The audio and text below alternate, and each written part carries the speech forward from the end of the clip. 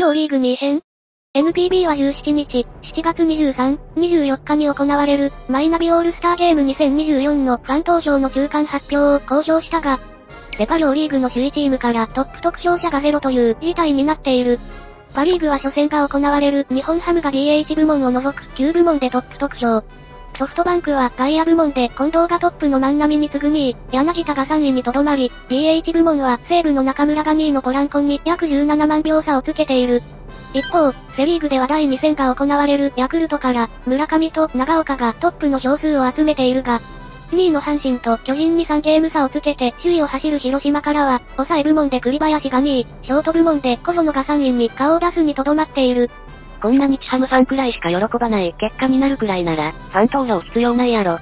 人気投票だから別に良いけどさ、成績重視が良いよな。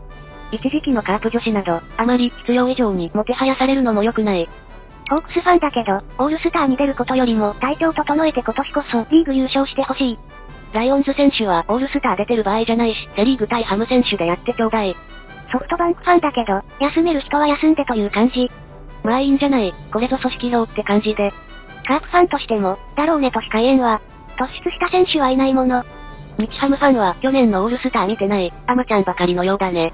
選ばれなかった広島の選手は、この期間中ゆっくり休める。カープファンだけど、別にオールスター出なくてもいいと思ってます。小園、ノミネートはショートだけど、三塁を守る方が多いので、票が割れちゃうんだろうね。去年の阪神といい、ずっと弱かったチームが調子いいと、ファンはこういうはしゃぎ方をしちゃいがちだよね。いいのいいの。下手にオールスター出て調子崩しても困る。